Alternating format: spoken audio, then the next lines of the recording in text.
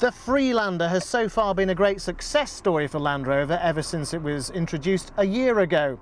But whilst most people go on about attractive packaging and value for money, it was a particular piece of technology of almost anorak proportions that stood out for me. It's called HDC, or Hill Descent Control, and I've come to Rover to find out exactly what it means and how it works.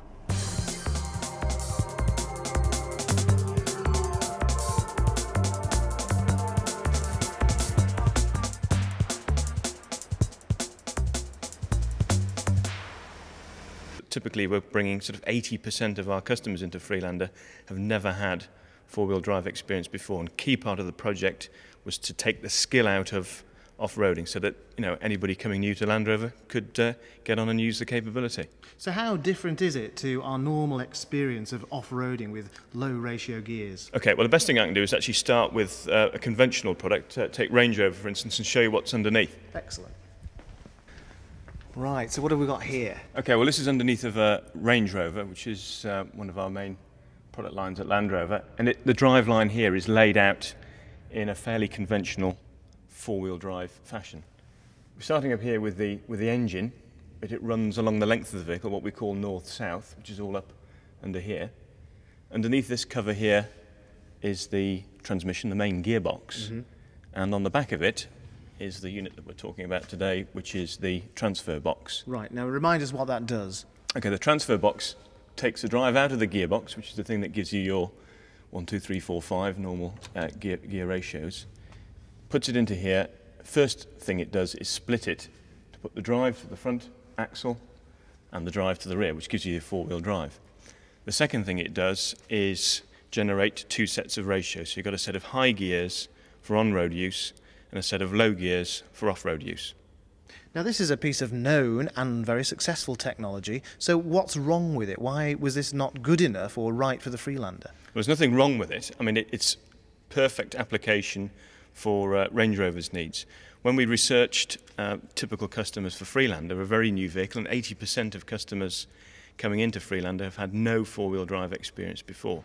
So we did some very thorough research which showed that customers wanted all the necessary four-wheel drive technology we could offer and all the benefits that go with that, safety, security, ability to go anywhere, mm. but they didn't want the complicated controls.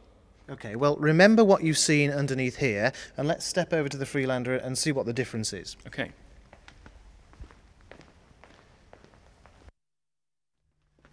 Ah, quite a difference. Mm, well, it, there's very little here. well, it's, it's a different application in terms of technology for a very different sort of customer. As I've described to you, we're looking for very simple uh -huh. um, four-wheel drive controls, and that's what this vehicle offers. Um, first of all, very different in that the engine is placed like a front-wheel drive car. It's across the vehicle, what we call east-west.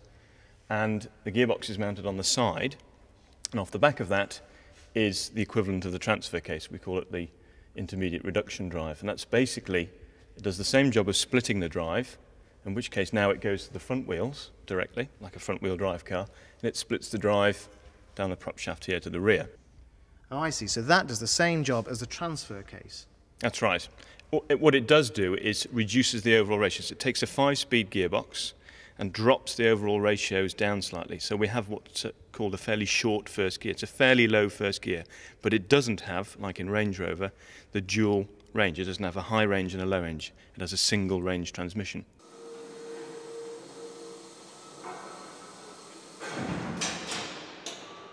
So what were the sort of problems you had to overcome with the intermediate reduction drive? Well, the intermediate reduction drive gave us great gradability off-road uh, in terms of going up slopes. Uh, when we first built our early prototypes, which were Maestro vans, hmm. with all of the running gear underneath that you've just seen underneath the vehicle, we took them to do some serious off-road work and found that it actually exceeded our expectation in terms of being able to go up slopes. The problem we found then is for if people want to do some very serious off-roading, was the ability to offer them something to come down the slope under control, which is what the dual range transmission, the transfer case, gives you. It's this unit here, which is called the ABS modulator, and that's the thing that provides the controlled descent. Well, having built our first prototypes and tried them, it was clearly a, a good system. We wanted something good.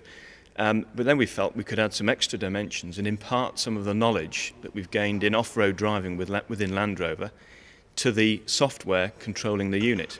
And let me pick an example. If you're going down a slope and uh, nine kilometres an hour is fine, but if you come across some broken ground, it's probably appropriate to go a little bit slower. So we have the ability to pick up the, the sense, uh, the sensing of broken ground through the wheel speed sensors into the control unit. It goes, ah, right, we're going over rough ground now because of the change of acceleration. And then that will then check the ABS modulator to slow the vehicle down to about seven kilometres an hour, just giving that little bit of extra control.